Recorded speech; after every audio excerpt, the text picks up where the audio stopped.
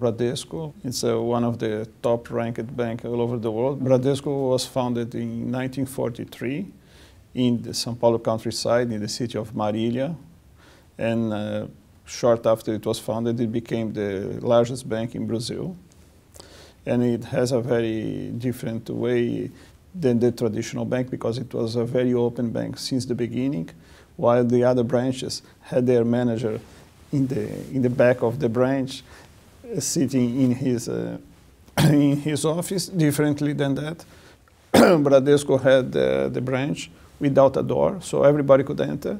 So everybody could be a Bradesco customer, and our, our manager was sitting right close to the door. So that was a very open way to, to begin and also to invite all customers in order to open their accounts. So we were focused on the retail bank since our beginning. We have 62 million customers in Brazil. So it's a huge number of customers. We have a, a, very good position in the market share. In some areas, we are leader in the market share. In some areas, we are the second position bank. We have to be very close to the customers and also to the future customers. Brazil is now among the BRICS, I would say, it's a very reliable uh, country, and we are growing in a very steady situation. We can forecast a very good uh, future for, from the economic perspective, uh, also from the policy, politics perspective as well. So uh, Bradesco is envisioning uh, a very good position in, in the near future, and our strategy is to be in all over Brazil. So presence is a network, the physical network is one, one thing that we very much consider. Um, about two years ago, we, we had launched our last municipality. So we, we reached all the municipalities in Brazil, over 5,500 municipalities. With bank branches? With bank branches, with agent correspondents as well. So every place that you have to, that you go in Brazil, every city, every single city, you can reach Bradesco. About 90% of our transactions go through the alternative distribution channels. We were the first bank to launch the internet banking, the third bank in the world, and the first bank uh, uh, after the United States, the two banks that launched before us. So this is a very innovative perspective, and we very much envision that. So how do we reduce the cost? We very much rely on the alternative distribution channels, and now we, we are focusing very much on the mobile channel.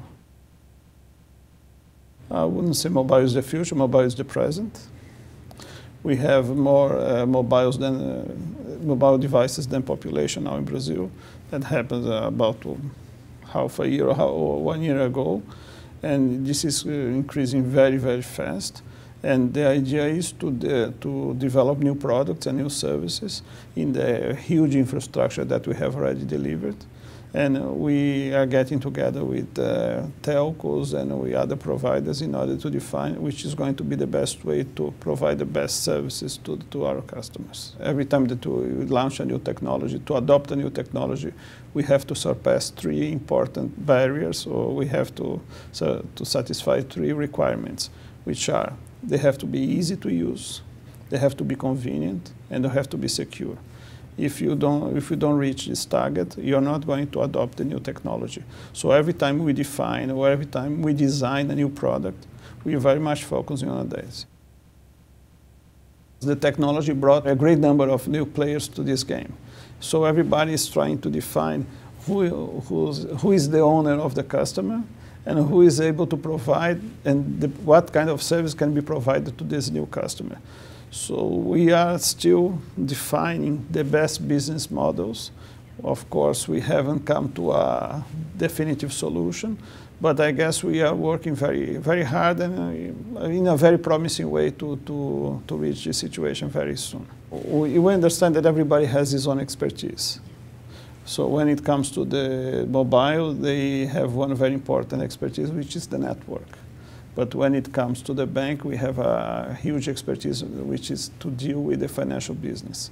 We have heard a few examples here about those guys that were trying to enter the other, the other areas, and they didn't succeed because they didn't have the expertise in order. When it comes for, to credit, for example, to, to uh, deal with credit with, very, with a small ticket and with a great risk. It's something that has to be handled by a specialist.